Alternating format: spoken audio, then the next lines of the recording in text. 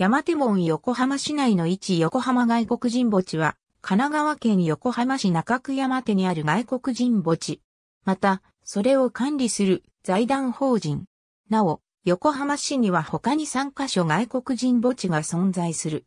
19世紀から20世紀半ばにかけての40カ国、余り4400人余りの外国人が葬られている。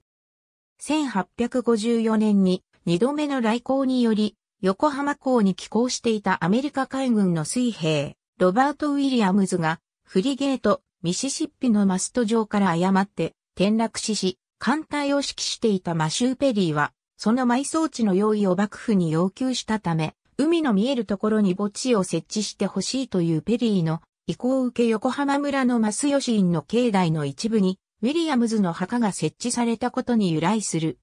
その後も外国人死者がその付近に葬られ、1861年に外国人専用の墓地が定められた。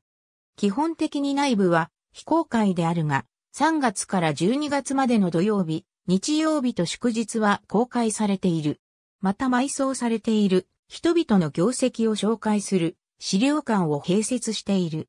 キリスト教形式の墓石が多いため以外に思われることが多いが、もともとは現在の元町にあった新言宗純別格元山増吉院の境内墓地であった。平成の初期まで当地では増徳院による供養も行われていた。エドモンド・モレル、フランソワ・ペルゴ、エドワード・コーンズ、メアリー・キダー、ウィリアム・ヘイグ、ルイーズ・キアソン、アルバート・アーノルド・ベネット、ネイサン・ブラウン、チャールズ・ウォルフ、ランス・フォード・スティーブンズ・ミラー、ジェームス・ハミルトン・バラ、快楽亭・ブラック、ウィリアム・コープランド、ハインリッヒ・アーレンスなど、ありがとうございます。